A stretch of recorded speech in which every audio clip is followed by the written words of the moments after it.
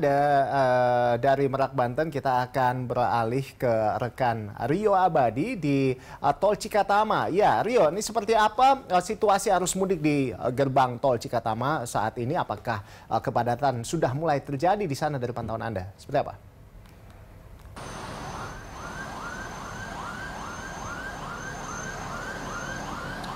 Baik, selamat uh, siang Rolando. Memang pada H-4 uh, jelang Idul Fitri 1444 Hijriah atau Lebaran tahun ini, uh, volume ataupun uh, arus kendaraan yang melintasi dari arah Jakarta menuju gerbang tol Cikatama masih terpantau lancar, ramai lancar maksud kami.